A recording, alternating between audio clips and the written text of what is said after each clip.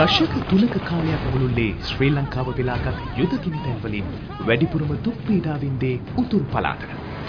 අතිවිශාල LTTE ආයුධ bunker පුහුණු කඳවුරු ඔවුන්ගේ පරිපාලන ගොඩනැගිලි බිම්ගත කඳවුරු මෙන්ම නිල නොවන වශයෙන් පවත්වාගෙන ගිය සංනිවේදන මධ්‍යස්ථාන සියල්ල පිහිටා තිබුණේ මේ පළාතේ වනගත බිම් කේන්ද්‍ර කරගෙනයි.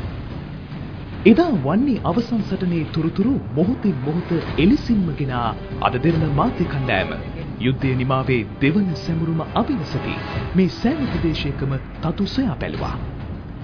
එදා හමුදාවේ අවසන් මුරපොළ පිහිටි වවුනියාව ඕමන්තෙන් ඔබ්බට මෙදා කළ සංචාරයේදී අපගේ මුල්ම අවධානය යොමු වුණේ වසර 18ක් තිස්සේ LTT ග්‍රහණයේ තිබී මුදාගෙනු කොකාවේ නගරය වෙතයි.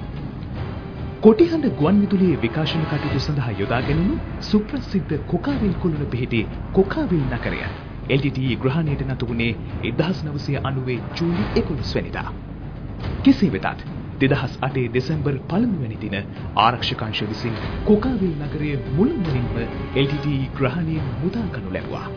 කොකාවිල් විශ්වායන් කුල්න අවට ප්‍රදේශයේ මුදාගත් 574 වන බලතන බට පිළිස් මේ වන විට කොකාවිල් නගරය සම්පූර්ණයෙන් මත්පත් කරගෙන හැකියාව ලැබී තිබෙනවා. ඒ අනුව සේනක විජේසූරිය මහතාගේ නායකත්වය යටතේ කොකාවිල් ප්‍රදේශයේ බලය තහවුරු කර ගැනීමට උන් සමත් වූයේ අද දිනය තුලයි.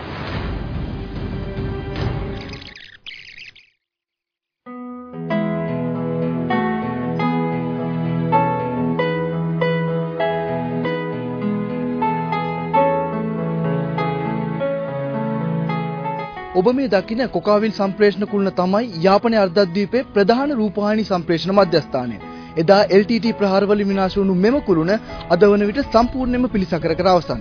ඉතා නුදුරේදීම මෙහි සිට යාපනයේ අර්ධද්වීපයට රූපවාහිනී සම්ප්‍රේෂණ කටයුතු ආරම්භ කිරීමටද නියමිතයි. එදා මේ කුළුණ රැකගන්නට දිවිතුන් විරුවන් වෙනුවෙන් නැගුණු ස්මාරකය මේ භූමියට එක් කරන්නේ අභිමානයක්. කොකාවිල් රූපවාහිනී කුළුණ නුදුරේදී විවෘත කිරීමත් සමග LTTය උතුරේ ජනතාවට කොරෙරු ලෙස අහිමි කර තිබූ සිව් දෙස තොරතුරු දැනගැනීමේ අයිතිය යළි ඔවුන්ට හිමිවනු ඇතේ.